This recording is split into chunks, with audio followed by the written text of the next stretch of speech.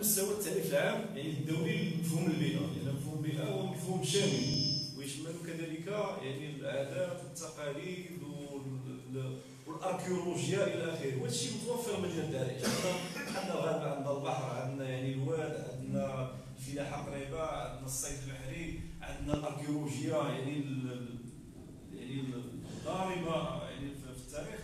اذا مدينة العريش تكون مدينة من أجل مشاريع بيئية. نموذجيه ماشي على المستوى الوطني بل على المستوى الدولي والتاريخ يشهد بذلك هذه النقطة الأولى. النقطة الثانية هو أنه آه، العرائش تعرضت لهجمات يعني آه، يعني لا اقتصاديه ولا سياسيه وكذلك بيئيه والمدينة التي يعني واجهت آه، مجموعة من من- الصعاب تاريخيا والان يعني كنحاولوا نكرروا والسكان المدينة هذا هو القدر ديالهم. ولكن هذا لا يعني أنه نحن نبرر هذا الواقع. ولكن هذا هو الواقع المدينة. المدينة يتم لهب يعني مقدراتها يتم لهب ممتلكاتها يتم يعني طمس هويتها يتم يعني التمكين بتاريخها فهذا كيعطينا بأنه القدرات ديالنا المحلية يجب أن تكون في مستوى هذه الهجمات.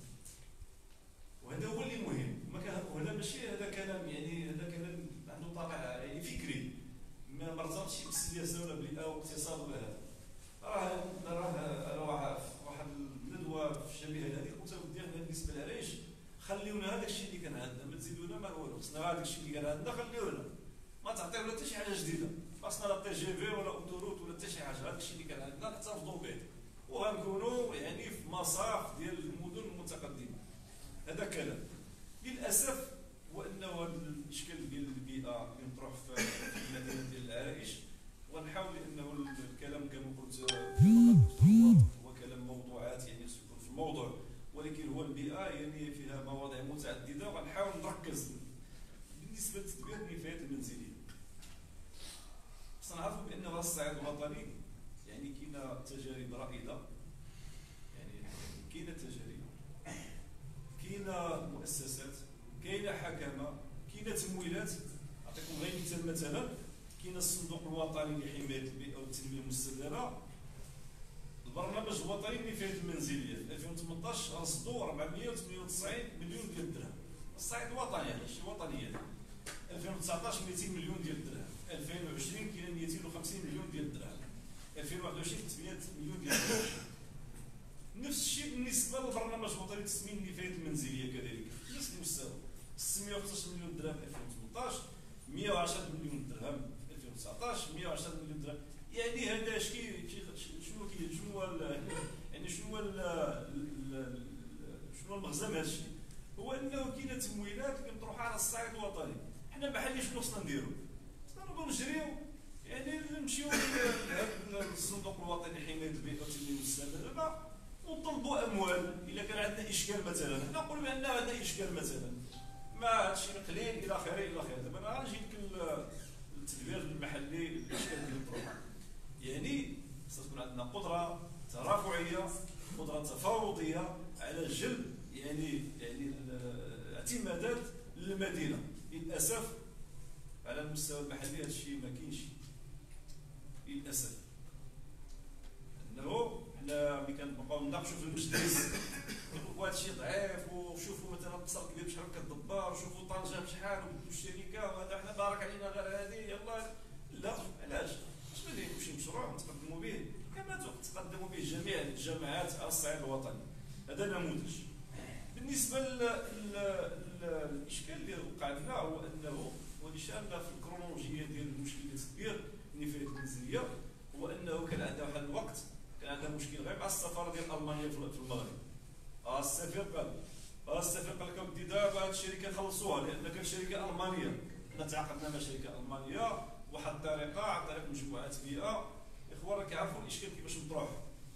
كنا عندنا مشكل كي كيجي شحال من مره جاو المسؤولين الالمان كيقول لك اودي هذه شركة ألمانية الاستثمار اجنبي وخصنا نحافظوا عليه إلى اخره المهم آه، لحسن الحظ أنه تخلصنا من هذا هذا الإشكال الدولي. المره كي طرح اشكال دبلوماسي كانوا كيتصلوا من وزارة الخارجية. يعني عن هذاك السفاره مع وزارة الخارجية ووزاره الداخلية عند السيد العامل الجماعة. السيركوي كامل كيدوز. يعني تعرفوا بأنه الناس كترعى المصالح ديالها الاقتصاديه وشي ما هي؟ من حقهم ولكن حنا راه عندنا مشاكل راه عندنا مشاكل حقيقية مشاكل بيئية اللي غدوم سنوات للأسف. فقلت حنا كان عندنا الهدف الأول هو أنه كيفاش نوقفوا هذاك العقد هذاك اللي مع الشركة. ويدوز مباشرة من البلديه للجماعه باش كما قال الدكتور حنا نبقى نتحاسبوا مباشرة. ما كاين لا مجموعة بيئة ولا هذه ولا هذه.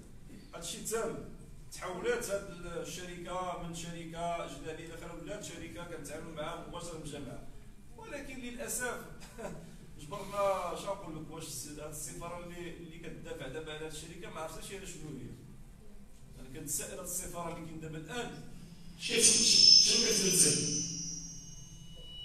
ما عرفناش هاد السفارة اللي كتدافع على هاد الشركة شنو كتمثل كاينة تقارير رسمية كتقول بأن هاد الشركة ما كتلتزمش بالقانون. حنا كنطلبوا هذاك الشيء اللي كاين في القانون ما نطلبوش أكثر.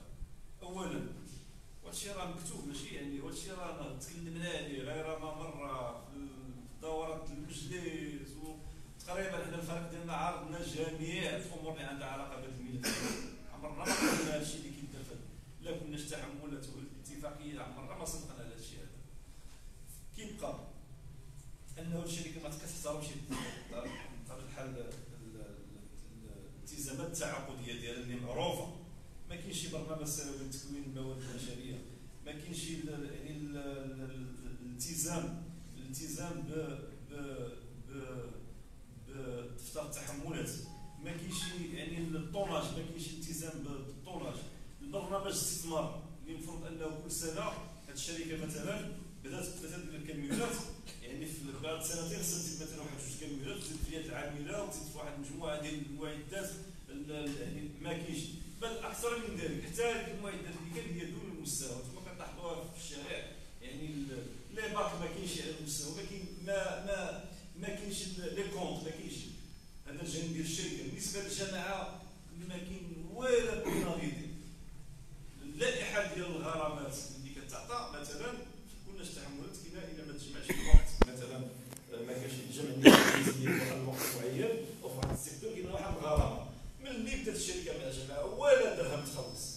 وقالوا بأنه يخلصوا خمسة شي شي 50000 درهم هادشي ما كاينش صحيح حتى الان ما عندنا حتى شي معطى. مجموعة ديال الغرامات اللي خصها بالتقارير اللي هي رسمية تقريبا 6 مليون و 5 مليون و 423 ما فيها ما كاينش الله هذيك اللافاج اللي كانوا كيدوزوا ديال اللافاج ما كانش كاش كنجاوب على يعني واحد العدد ديال ديال ديال يعني ديال الخدمات ما بقاتش كتقوم بها هذه الشركة هذه وللأسف سجلنا بأن هذه الشركة في البداية ديالها كانت الأهداف ديالها انتخابوية. اسمحوا لي كمواطن عرائشي بأنه واحد المرحلة لاحظنا بأن المدينة كتكون بالليل وبالنهار وهذا. ولكن كانت واحد الفترة انتخابوية وراه كلشي كيعرف هذه الحقيقة هذه بالنسبة ما طرحش الحل ولكن حنايا كمسؤوليه ديالنا المعارضة طرحنا هذه الاشكالات طرحنا الإشكال ديال أسئلة كتابية في دفعات يعني في المداخلات ديالنا طرحنا الإشكال ديال المطرح والمنار بل أكثر من ذلك هو أنه الآن يعني يعني لأنه عندما كنتكلموا في المجلس إلا كان طالبوا إلى اخره فإحنا التجأنا للقضاء بالمناسبة. كنشكر الأخ العضو معنا الدكتور رشيد فارس يتقدم يعني بدعوة قضائية لدى المحكمة الإدارية. من أجل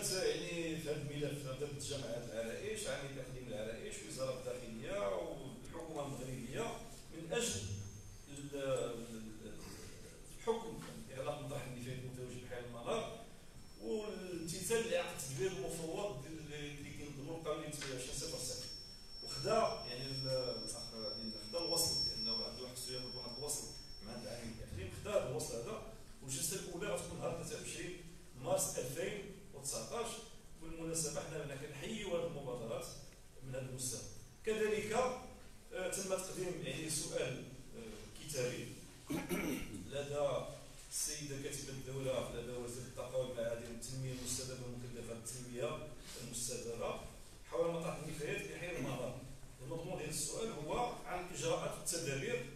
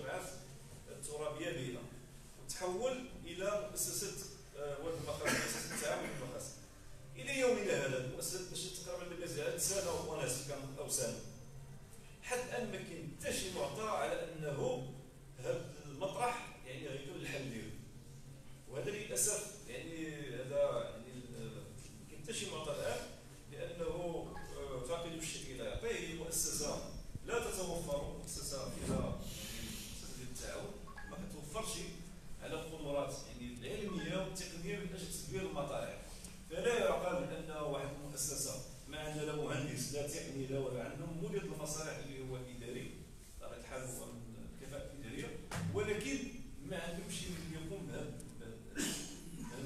المتابعة ديال النابذ المشاريع.